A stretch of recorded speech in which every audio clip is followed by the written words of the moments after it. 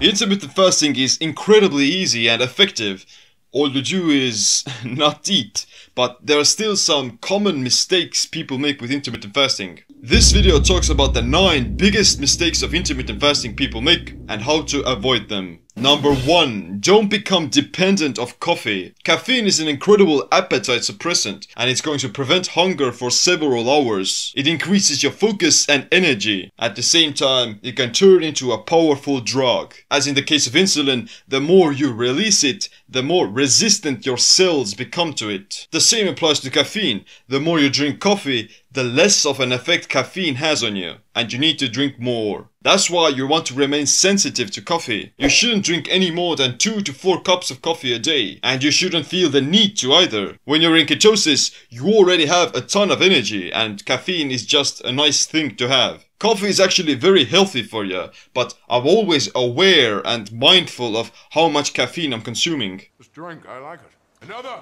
Another great way to remain sensitive to caffeine is to cycle between decaf and regular coffee. One day on, one day off. Or you drink caffeinated coffee for a week and then you drink only decaf for a few days. Number 2. Don't get dehydrated. Instead, we should increase our water intake. Drinking 8 cups of water a day isn't enough, especially while we're fasting. Coffee can also be a diuretic that will make you urinate out a lot of water and electrolytes. To compensate that, add a pinch of sea salt to your water. This will improve fluid absorption and improve electrolyte balance. You have to stay hydrated throughout the day to get most absorption. Number 3. Don't think you'll die. You won't lose muscle, you won't gain fat, you won't damage your health for fasting just 16 to 20 hours. The opposite actually happens. Short-term caloric deprivation actually stimulates the body's own inner mechanisms that rejuvenate and clean your entire organism, such as autophagy. Fasting doesn't equal starvation either, because your body has access to nutrients. If you think that you're gonna create some damage to your body and health by doing some intermittent fasting, then you might, because you're creating this extra stress with your mind. Extra stress that isn't actually real. Number 4.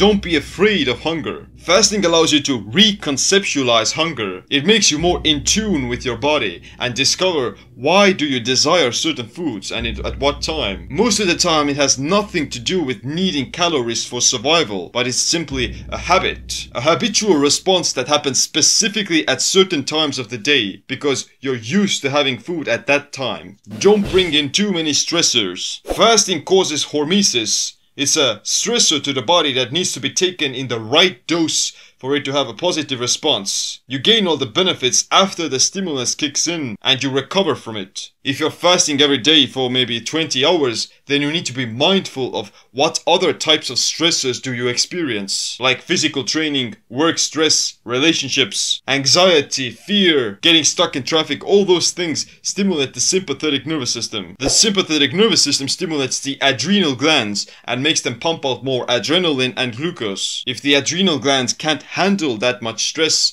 then eventually they'll burn out. Additional stresses include lack of sleep. The most growth hormone actually gets released during the first few hours of sleep. Sleep deprivation also lowers testosterone and can cause insulin resistance. Most of the adaptations of hormesis on your body happen during sleep, so you don't want to miss out on it. Don't freeze to death. Another mistake would be to get too cold. Cold exposure is a stress response like any other. If you're fasting, then you might feel slightly colder than you normally would. It's a sign that your body is working hard to produce heat. So to avoid that, you can dress more warmly or drink some hot beverages. Another!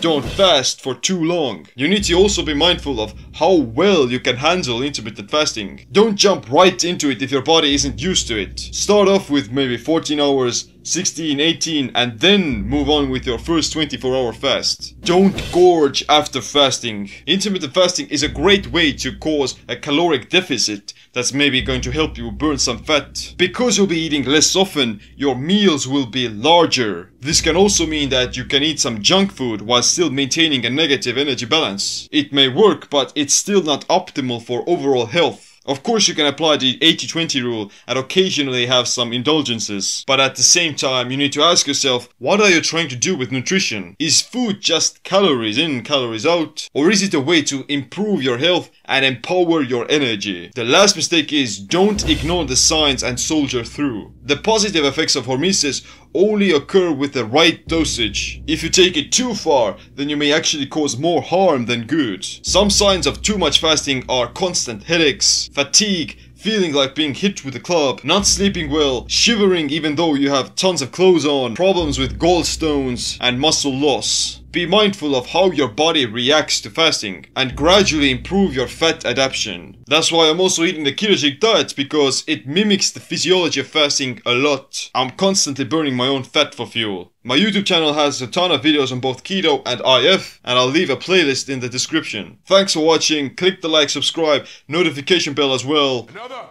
My name is Siim. Stay fat adapted, stay empowered. Another. Another.